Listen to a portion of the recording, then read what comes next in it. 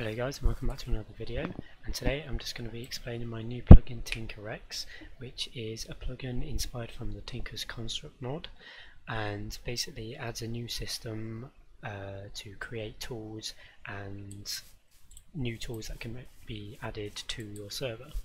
Now this video I'm going to try and make it as quick as possible just to show off all the features, all the things that you can customize and I'll be doing another video on how to edit the configuration file for this plugin so you can get adding your own tools and make it how you want to make it. So the first block that you can uh, customize and add to your your server, which is the main block, is the Stoneforge, which has a default crafting recipe of this. So if I quickly put this into here, magma, lava, glass. I've got a stone forge and you get your bucket back. So let me just put this back in here. So when you place down the stone forge, whichever direction you're looking is where it will be placed.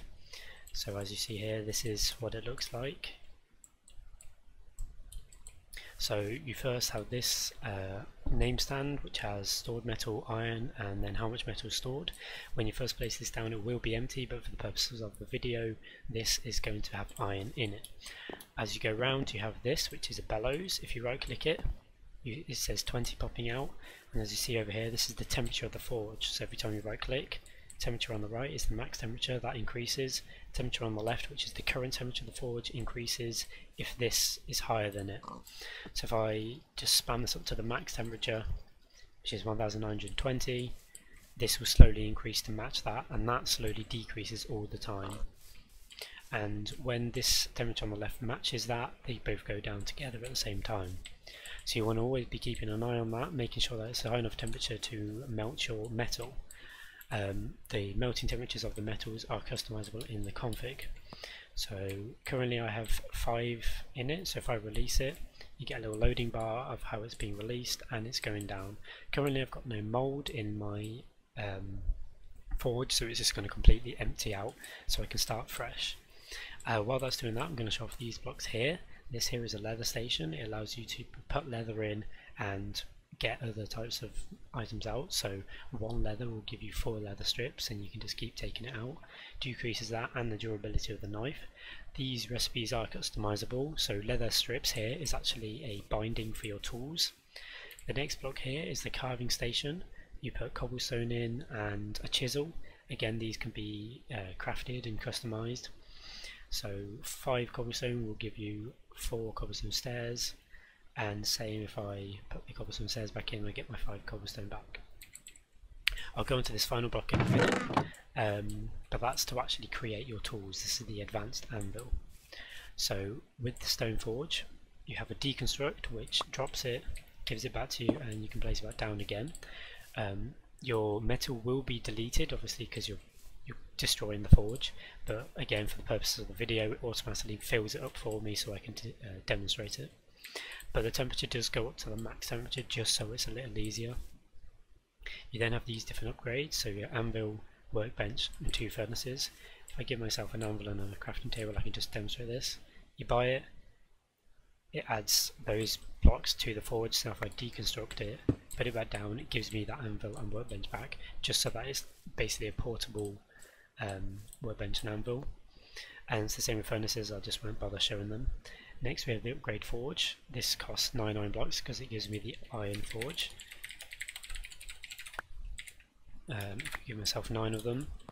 Upgrading the forge uh, gives you a visual upgrade, so it makes it all iron. If I decon... oops, that's not what I wanted. If I deconstruct it, now it gives me an iron forge. And it gives it iron. But it also makes the uh, the forge melt items faster and craft items faster, which is very useful for when you're making more bigger, um, costly things. Uh, next we have upgrade size. This um, upgrades how much metal can be stored and visually it will make it taller so if I quickly give myself this so iron ingot, two iron ingots, five stone, two lava buckets and 2 glass. Not 22, but oh well. So I buy that. It's now gone up in size and can store 10 litres.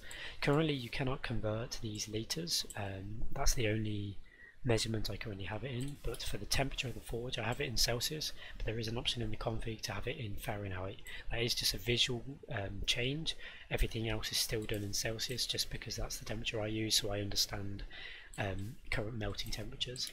So if I wanted to melt some iron, I give myself an ingot and a block, so dropping an ingot, um, the forge isn't hot enough obviously, uh, let me quickly deconstruct it and put it back and put the temperature up.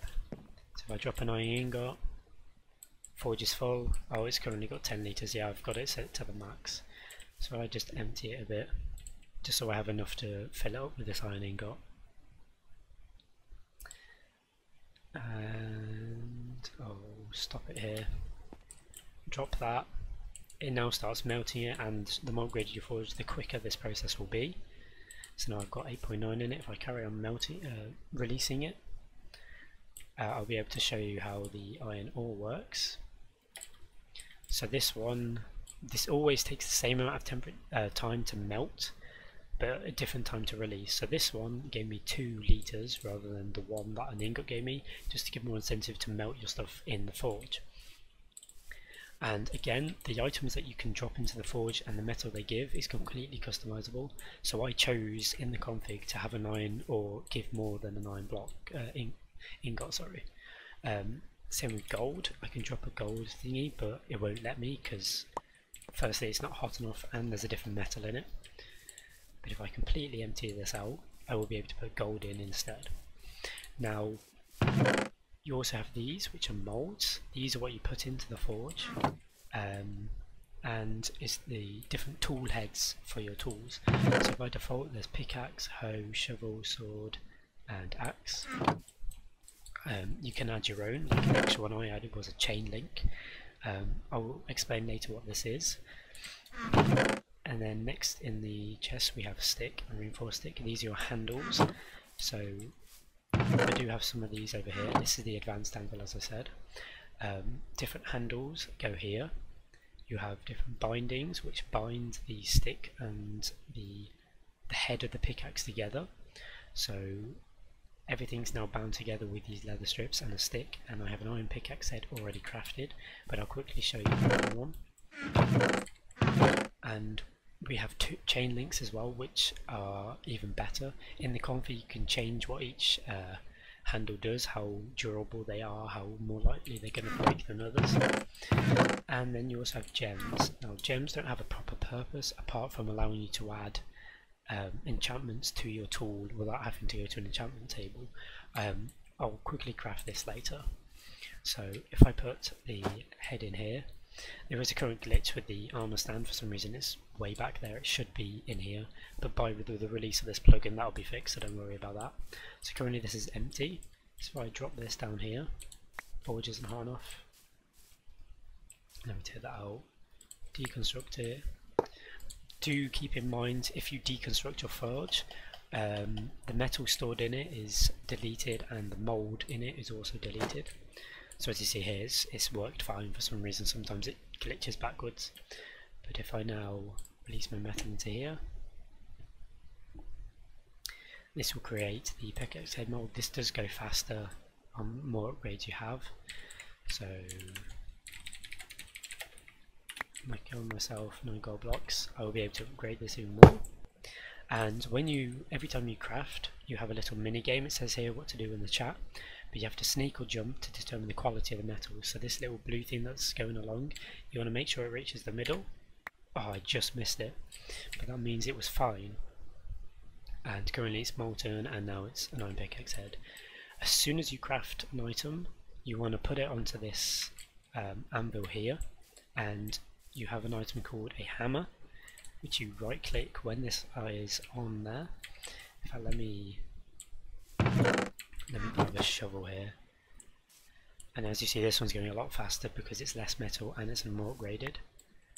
But if I do this, pick it up, put it in craft it. As you see this one says quality flawless, this one says quality fine, but there's no, this one says crafted 0%, this one doesn't say crafted. Um, that's because I didn't do that hammering system on the first one meaning now it will have less durability because I didn't hammer it into proper shape but this one will have a higher durability than normal because of that process I just did. There are extra steps um, that I've added to the plugin just to make the, the crafting system a bit more unique and more fun and it allows more customizable to your tools so each tool you make will be completely different to the last one even if you use the same the same tools. So now I have this shovel head, let me just, I'll make a shovel for example. Okay, so I'm, I'm going to leave the iron pickaxe head in here for now, and it's going to create this iron pickaxe. Um, that's using a stick, two leather strips, and then the iron, the flawless iron pickaxe head. Flawless means that it will have higher durability. So this current XP cost will be 4 to make this tool. The XP cost is in how many levels you have, and that's completely customizable in the config. Now if you hover over your, your the item you're going to make, it will tell you um, a bunch of question marks. These will be the durabilities, and when the question marks are in brackets, that's the percentage chance for it to break when the durability is zero. So if you've been mining and the, the stick, for example, has no more durability, whatever the percentage of the break chance is, is the chance it will break every time you hit it after that zero durability point. And each one tells you also the quality of that part of the tool. Currently, these are all um, flawed because they they're just default items. Leather strips isn't a default item, but it hasn't got a, a quality because you just put it into the leather crafter. But the iron pickaxe head, we we changed the quality of it by doing that little mini game. So this one says flawless. Now currently we can't see the current durability until we take it, and I don't have enough levels, so um, what's it called? Just do here. Give myself some XP bottles. Make sure I'm high enough level and it's crafted. So now it has the durability and the break chances. So this one's not too bad. The pickaxe head has 500 durability. That's because we managed to get it to flawless. Um, the higher the quality, the more durability, and the lower the quality, the less obviously. Again, the, the default durability is changed in the config. So um, the different stages of of um, durability or, or, quality, sorry, is flawed, sturdy, fine, flawless, legendary, and flawed is the worst, legendary is the best. Sturdy is the sort of the default uh, level, uh, unless obviously your your tools were made in here. So this would be flawed because it's just made without anything.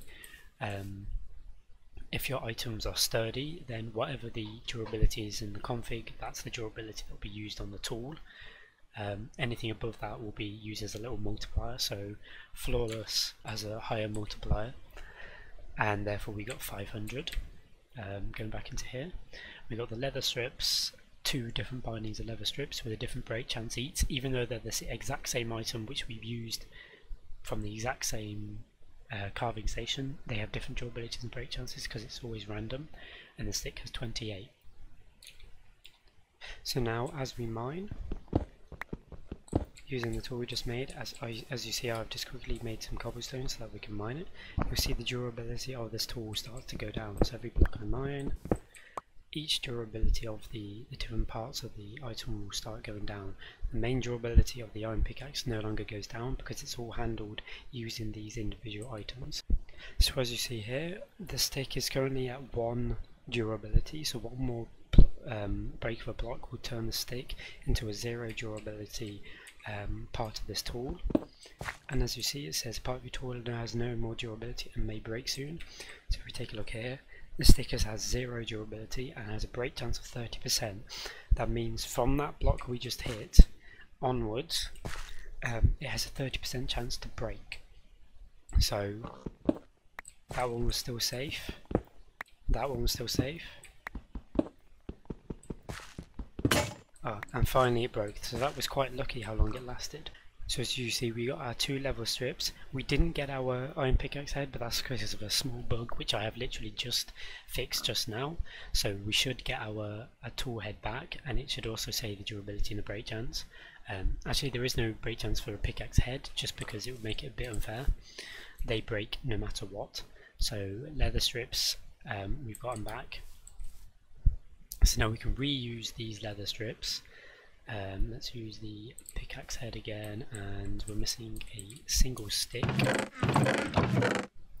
So let's use this stick and we can grab this and now you can see that the leather strips durability are automatically shown on the, the little information because we already know what the durability of those will be. So if I make that, it now reuses the old leather strips that we had and we can get back to mining. And as you see here, that head was actually a fine head. So we only have 375 durability now rather than the 500 we had before. So that's the, the main basics of how to make a new tool. Um, as you can see all of the stuff I just did was customizable. The metals are customizable the crafting recipes are customizable the different molds are customizable the handles are customizable the bindings are customizable and all of that can be put into here. Currently um, there's only tool crafting mode so you can make um, swords pickaxes shovels axes hoes whatever you want to make for tools. I will be adding armor soon so when you click this it will change to the other modes. Um, so armor will be another mode and perhaps a, a tool repair possibly will be a mode that you can um, repair your tools in. So that was a quick rundown of this plugin. Uh, I hope you enjoy it if you get it and I'll be doing another video very soon if it's not already up on the, the Spigot page um, on how to customize the plugin as much as you can. I've tried to do this video as quick as I can, so sorry if it's been a bit fast, but I just wanted to sort of show all the features quickly and display it all. I know there were a couple of bugs which you may or may not have noticed, but um, they will all be fixed by the actual release of this plugin. I'm just doing it a bit early, so all the information's on the, the Spigot page when this plugin is released. So thank you for watching, and I hope you enjoy the, the plugin.